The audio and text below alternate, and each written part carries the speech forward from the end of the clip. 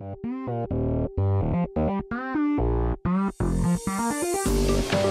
right, welcome everybody to another eFrag video here, live coverage from hashtag ESL.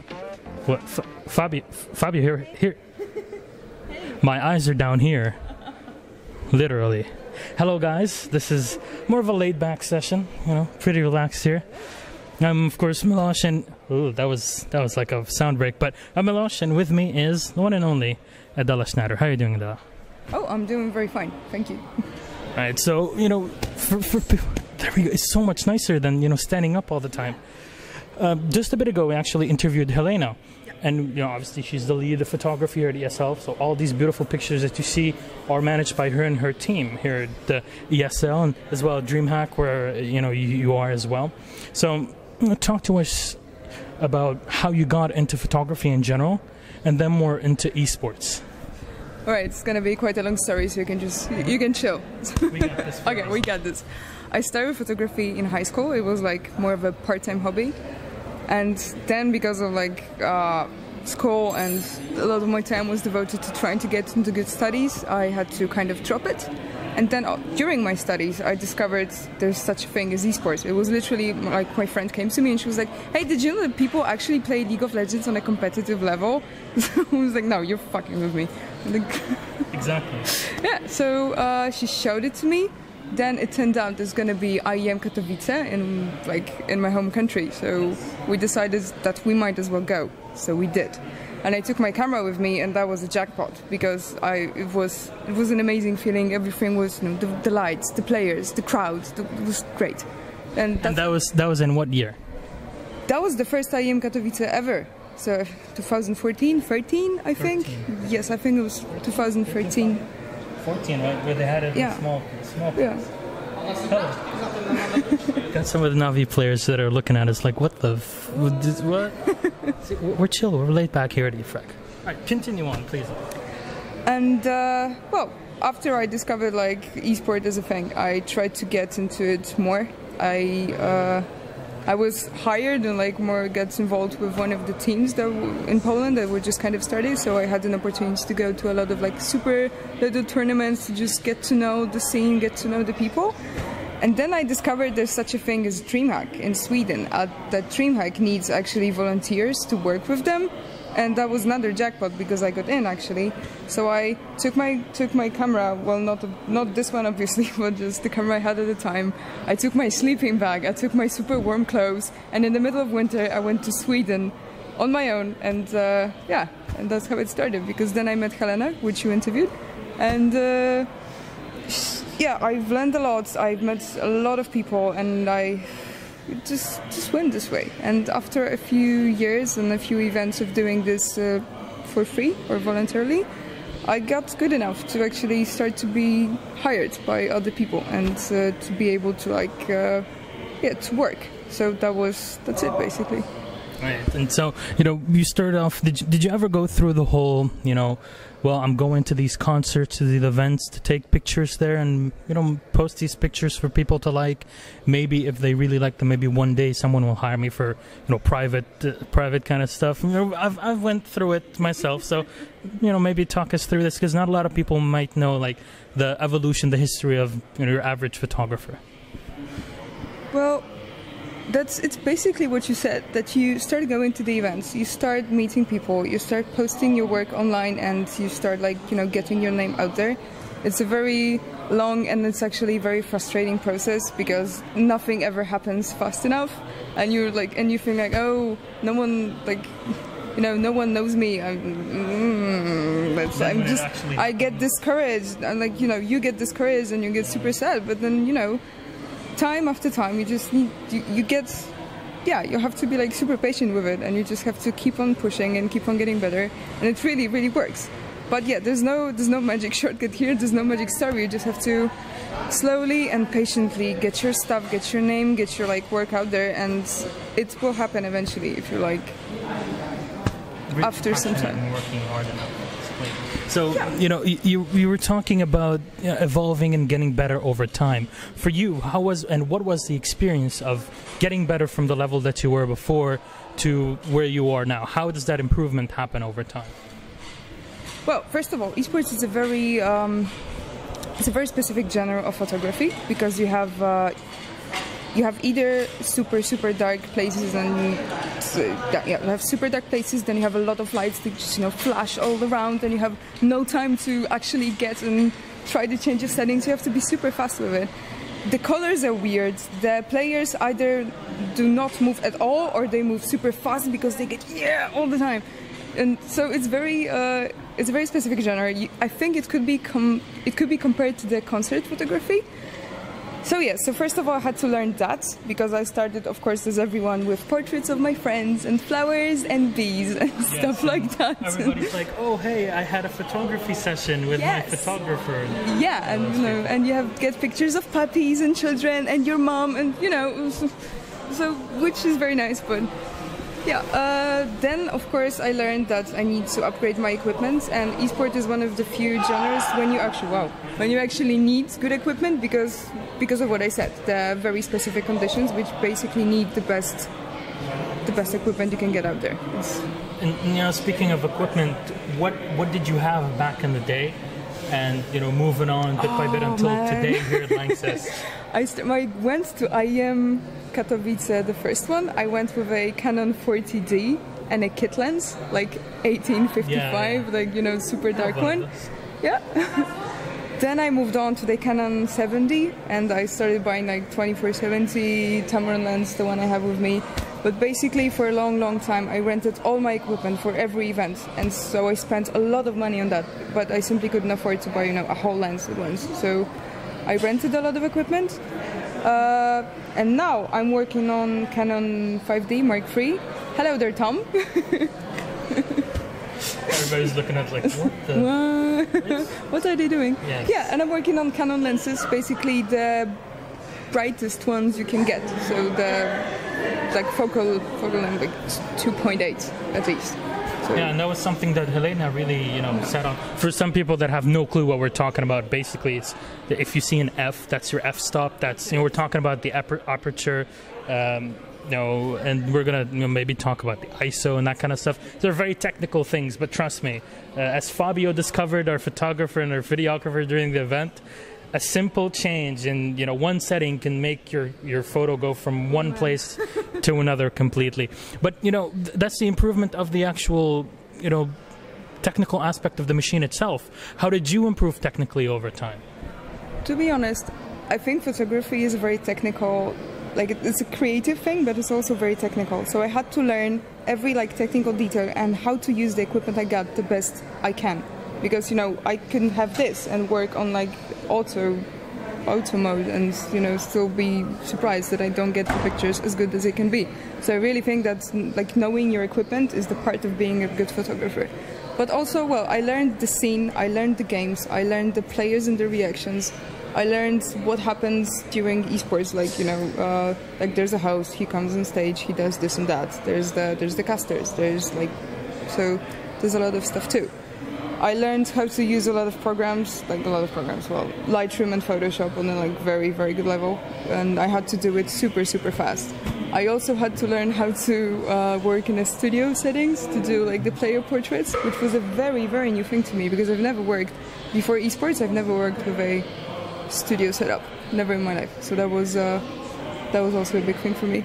And you know, speaking of setups, may um, prior to events, how do you pre- prepare to them? Because you know, in normal events, usually, um, like when we got here, basically first thing, you know, went around seeing what are the light conditions that we're going to work with, how are we going to set things up. How do you prepare before an event, physically and mentally, with as well your camera equipment? Well, uh, first of all, I try to establish what kind of stage am I going to work in because some of the events uh, have like more simple and little stages, and some of the events like this one, I have a huge, huge stage with lots of live and lots of swag. So I, I should know. I should know what I'm working with, and I should know what equipment should I bring. Uh, if I don't know the game and the scene, I of course I try to read as much as I can because well, I don't have to know everything as, for example, hosts and casters do, but it really, really, really helps. Um, There's Haas from the ESL admin team from ESL UK is like, again, what the F are these guys doing? We're basically at the entrance of the entire arena. So literally thousands tomorrow will be streaming in through here. So, you know, we were talking a bit about you know, how things, how do you manage things before an event? Um, how do you do it? hey, machine. even even Dennis Honke, I mean, yes, it was pretty sexy. Machine is a pretty sexy guy. so you know, preparations for events normally, you know, it's pretty difficult. You have to set things up again, knowing your equipment too. Exactly, and in, events as big as this, where this weekend we're gonna have 14,000 people at this stage. Yeah, already just thinking about it makes your head explode. But how difficult is it to prepare physically at this point to be able to move around the stage as well makes things happen? Esport and video games actually had me start working out and running. See, mom? No, really, really, because See, Mom? I like I managed to, I managed to manage without it for some time, but now the, I'd say a year ago, half a year ago, I realized that I either start working out and I'm just going to be dead after every event, and it really helps. Uh, yeah, after the events, most of the like a lot of the photographers have problems with like their necks and their backs because we carry our equipment on our like in our hands and on our backs. So that's also a very difficult thing, and we have to work on that. And mentally, well, I just try to focus on like how amazing the event will be. I not I don't think about the amount of people and the like amount of people that will see my photos. I just think, well, it's gonna be fun, and I'm gonna You- do my best to just convey the Do, do you just think about the hype and the event itself? yeah. I think think about the hype, and I think that I will try my best to just you know con- convey this hype because the people who are watching from home on or reading the articles later.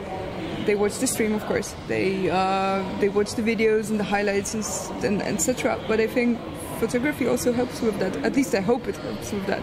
So, Personally, I can say it helps quite a bit. That's for sure. Yeah, that's that's what I personally think about.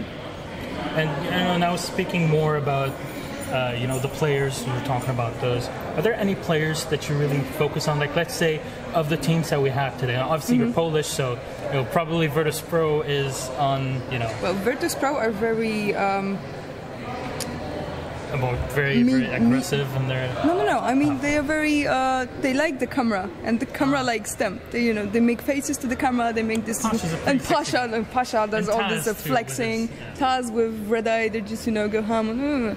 That's fun. But during the game, they are not really as I'd say expressive as the rest of the teams. For example, SK, they just go crazy. Um, FlipSid3 went absolutely nuts after the win just a while ago. Astralis is, especially they now. crying. They were crying. That was the first time I've seen the whole team crying all the time. Uh, so yes, I'm really hoping to for Astralis to get far. Also because they are very expressive. Um, let me think. Who else? Navi. Navi is really also. Wow. There we go. I think that was Mouse, uh, because Mouse shouts shout a lot too. Yeah, these are the these are the themes from the top of my head They're just you know very very emotional. Very emotional. Very that's, emotional. That's basically what you need to capture these photos that we, you know, we see, you know, either on on Flickr or with Helena on her website and stuff like that. Uh, you know, um, about photography in general. Um, what are, what might be your advice as someone that at this point is is a story of someone that grew up, you know, basically just with a dream mm-hmm. and with their own work and you know a lot of a lot of tiredness. Basically, mm-hmm. got lucky with with the person that they met and got all the way to an event as big as this. I know it's it, it can get pretty emotional thinking about it. yeah. Because you know, even for me, that someone you know that casted Battlefield 4, which is irrelevant compared to esports, and where you've you've been a photographer too, um, it's it's a pretty exciting thing to think Yes. about. So, you know, what can you say about that, and to other people that might have this sort of dream too? I would say the same thing, the same. I would give you the same advice that was given to me during my first IEM. Like I met a photographer who was working there at the time, and I was like, "Wow, so what would you say to me exactly? Like, what, you're working here. This is amazing. What would you say to me?" And he just looked at me like an alien, like I was an alien. And he said, "Just do it." really, just don't be afraid. Just do it. Rent your lenses. Go to the events. Just you know, grind your way through, and it's it's gonna happen. At some point, if you're good enough, No, I promise, it's gonna happen. You just have to be patient with it. very patient. Yeah, well, not very patient, but you have to be patient. But it's gonna happen. I promise. Oh, that's, that's a fantastic story. Like this goes for for anything as well. You know, there's a lot of people that watch on it might be like aspiring casters or you know aspiring photographers. You know, aspiring in anything in your life. If you want to get that job, you know, uh, you know, F McDonald's. You know, you don't want to work there your entire life. Well, if your dream is to work at McDonald's, then you know, um, just do it, man. Just just do it. Yeah, Do your dream and Do don't your let your dream. dreams be memes. Uh, Like seriously, yeah you do you. It's, don't be afraid. No fear, my friend. No That's- fear, my friends. there you go. Pasha is here. There we go. Pasha is in actually. Is he here today? Uh, I saw some of the Virtus Pro, but I haven't seen Pasha yet. So it's gonna be awesome. so you know, what are you looking for? Since you know we can't really, um, we couldn't really ask this to other people, but maybe for you, can ask: Do you have a favorite team uh, that you would like to see maybe in the final and maybe Well, win this thing? Be, it's gonna be super obvious when I say, of course, Virtus Pro, but I really would like to see them in the final. Uh, because of a lot of reasons, but yeah, I would like to see them. I am very curious about what FlipSid3 will bring it, bring to the stage tomorrow. I'm really, really curious about that. So, yeah, these are the two teams I will be watching. But knowing my luck, they will. I don't know. I hope not. but- Yeah, yeah. I, I know that every single time we're like, oh, this team. This team, yeah, this team, this time. uh, Yeah, I remember last year with EnVyUs, and everybody was like, yeah, EnVyUs got this in the bag in the final, and then just, Fnatic just rolled over them. it's- All right. Well, thanks a lot for being here, Thank Adela. It's it's your first time on video camera, so it's a good thing we're you know chilled and relaxed. Yeah, that was that was actually a great idea. That was a great. She's a very smart woman, as you can tell. She has the oh, one. Basically, we dragged this from below up like ten. I don't know Don't how many. anyone. Yeah, stairs and stuff, and we're like, yeah, we're just gonna sit here, and then we have you know producer, caster, everything passing by us, making really weird faces to say the least. Yeah. Right. Machine face, my god. Yeah, that was a quote unquote face. I don't think that's. Yeah, that's it's a family show machine. Let's just let's just uh, make that relevant again. So you know, really, thank you, Adela, for coming around again. It's it's been a pleasure. Hopefully, we get to see some of the beautiful pictures that you have lined up. Where can people actually check you out? Because you know, there's uh, pictures that pass by on the ESLCS Twitter, but you have stuff on your own, like Adela has, for example, her own. Adela website. has her own Twitter, of course. It's uh, at damnew underscore M A W R R. It's Denumar. Demnumar. is pronounced Mavr actually in Polish, but not not many people can do that. So it's Demnumar. Uh, I also have my own Flickr with pretty much the same address, like Demnumar, and uh, yeah, that's it.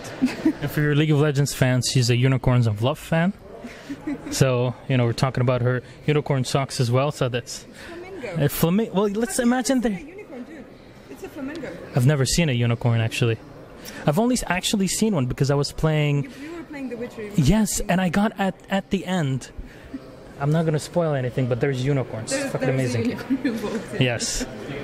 All right. Well, I would like to ask more about The Witcher, but I don't think this is the one for That's, it. Maybe- that's another interview. Yes. You know, but final one just to end it. Yennefer Triss.